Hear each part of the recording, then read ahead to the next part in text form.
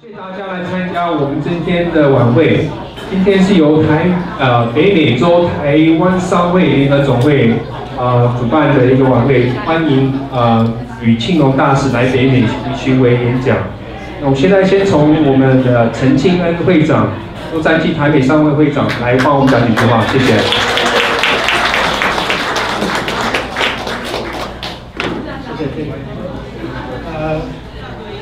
大使哈，那个新闻处的朱大使，呃，副处长、东副处长啊，呃，我们北美洲台湾人呃医师协会呃邱会长邱医师，那个呃北美洲护理协会哈这个林林会长，我们那个雅美雅美这个基金会的执行长，也是我们商会的副会长，呃还有各位呃今天在这边的每一位呃来宾，这个我代表台美商会啊、欢迎，也谢谢大家来参加今天这个活动。呃，这个活动呢，呃，一开始是我们北美洲台湾会馆总会，它有一个 WHO 这个委员会呢，它推动，它邀请我们呃吕大使哈，呃十天，从这个前天开始，在这个全美国，呃有六个都都市，呃做一连串的巡回演讲。那我知道李大使在台湾也非常的忙，他为了这件事情呢，呃，spare out 两个礼拜，特地来这样，他就回台湾去了，哦，风尘仆仆这个为国为民，呃，我我真的令我们感佩哈。那台湾进步。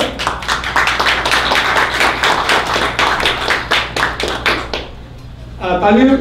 台湾进 WHO 这个议题呢，啊，实质上我们都知道，事实上关乎着呃台湾所有这个台湾两千三百万呃人民，还有事实上包括所有现在享用台湾健保的所有海外的侨胞啊，啊的健康还有疾病预防，啊，所以这个是一个啊人权生存的基本的一个啊。的议题，那等一下我们可以在今天晚上的这个呃演讲里面呢，呃充分的来了解这个对我们之间的关系哈。那呃今天大家很不容易在礼拜二的晚上呃来到这个地方，那我相信这个吕大使的演讲可以让各位在今天晚上呢得到一个呃非常的丰富，然后呢。呃，非常的感动，呃，永生难忘的一个礼拜二的晚上，好不好？啊，谢谢。谢谢你。好，那我请驻东驻洛杉矶台北经济文化处办事处朱文祥大使帮我们讲几句话，谢谢。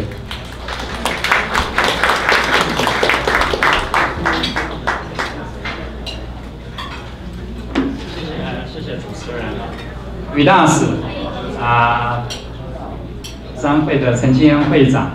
啊，田义宏董事长，林国燕会长，汪俊宇会长，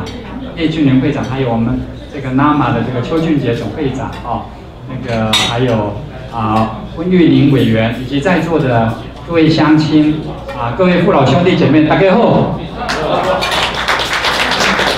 我这个同同事帮我准备了好多的这个有关于啊吕大使的这个他的背景资料哈，我想就不浪费大家的时间。这个我本来想要为他歌功颂德一番哈，其实是不用的。吕大使本身哈就是外交部的一个非常典范的、非常非传统的外交官。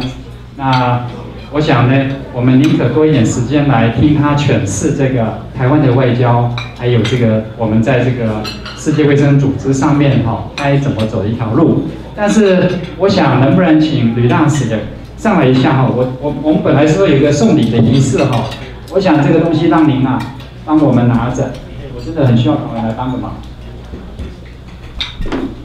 那个吕大使，我跟你说明哈。这个东西是我在担任驻吉里巴斯大使的时候设计发明出来的。那这个东西呢，原来是防治这个家庭暴力犯罪，因为很多落后国家哈，女孩子常常被欺负，我在那个国家呢，太太常常被打死呢，旁边的邻居不能来劝架，因为如果来劝架，那个男的会被认为说他跟他太太哦有暧昧关系，所以很多国家越落后，就表示说对女性不尊重。那一个国家我也在瑞典待过，瑞典是女生当家的国家，所以它进步程度超过美国。所以就是女生力量如何发挥呢？是我在吉里巴斯一直在想的一个事情。那所以刚开始这个原来那个地方没有水没有电了，刚开始原原创只是说，当女孩子被打的时候呢，那没办法，那他只能求救。那求救的时候呢，我原来设计只是这样而已，SOS 哈啊，然后这个晚上声音一响呢，就几百个男生邻居就过来保护这个太太，所以从此就避免了这个伤害。然后后来那地方因为太贫穷落后，没有娱乐，我们把它加了这个太阳灯，然后又加了这个呃收音机哈，这个这个本身也是一个收音机。哎好。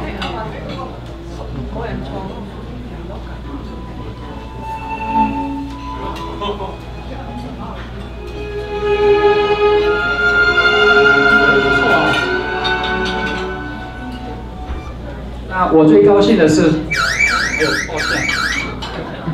它本身又是个 MP3 这个音乐播放机，然后又是个 Power Bank，完全就是充电的哈，太阳能电。那特色是怎么样呢？这个设计之后哦，这个我很安慰，我们哈让一家公司从股票从十块钱跳到七十块，这个就很棒了哈。另外一个更感感感动的呢，是这个公司的董事长告诉我，去年啊，教宗的桌上也好几台啊。教宗哈，这个教廷的这个那个那个 from Francois 那个教宗哦哦 France，原来怎么样呢？他也知道这个东西，他也感动了。他们教廷也采购了好几万套，送到那一个啊目前的这个像那个啊叙利亚那个交战区的难民营哈，因为它可以做一个政策宣导、新闻传播，还可以救命。我今天很感动哈，能够因为我们这次从台湾刚来的啊。我们当成一个啊一个 priceless 的非卖品的一个礼物哦，Wonderful Taiwan。我们希望这个吕大使带着这个哈，永远记得洛杉矶，我们侨胞的热情，我们办事处同仁的用心，好不好？谢谢您。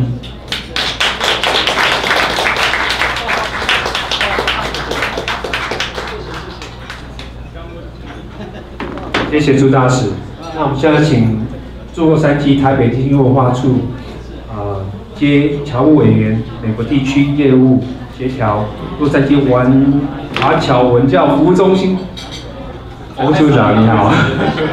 谢谢谢谢谢谢啊，谢谢大家好，大家晚安。呃，李大使、朱老师，还有我们陈会长啊，还有我们在座所有的接班单位，还有各位的团队领袖，大家晚安，大家好。好。我简短的补充一下哈。李大使哈，以前在我们行政院新闻局做过事，也当过行政院呃这个外交部新闻司司长。那后面的经历，我想大家都知道，我就不浪费大家时间。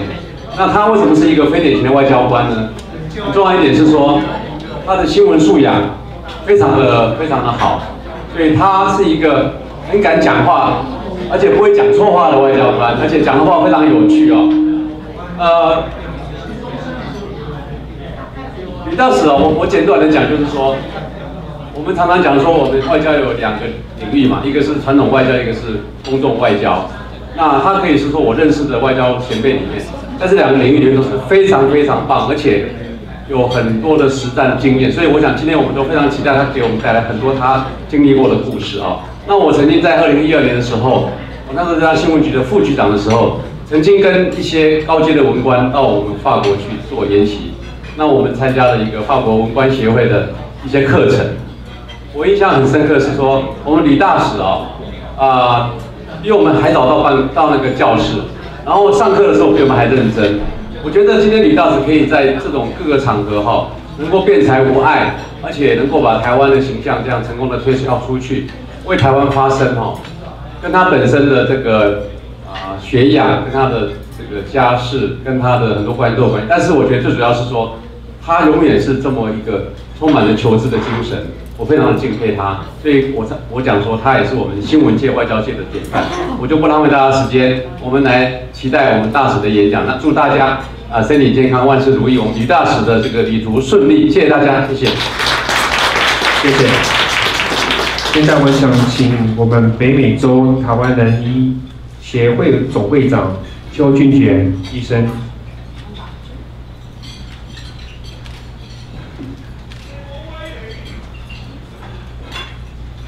李大使、朱大使，还有王主任，还有会长、各会的会长，而且各位重要的人物，大家好，我是纳马总会的会长邱俊杰医师。我想今天是主要是那个台美商会他们主办的，他们说实在的，这样一号召下就有这么多人来参加，我是非常的感动哈，表示大家对台湾。这个世卫组织的关心，去年我们率团了四十六位去那边，虽然我们尽了我们的力量，但是我们的地位并没有被提升。今年我们要将再次的闯关，我们要带领四十四位到日内瓦做实质上的行动。所以说，我想今天再配合吕大使的演讲，我想一定会很精彩。祝李大使的演讲、精辟的演讲成功，而且我们在座的每一位听了他的演讲都有所感动。谢谢大家，谢谢周医师。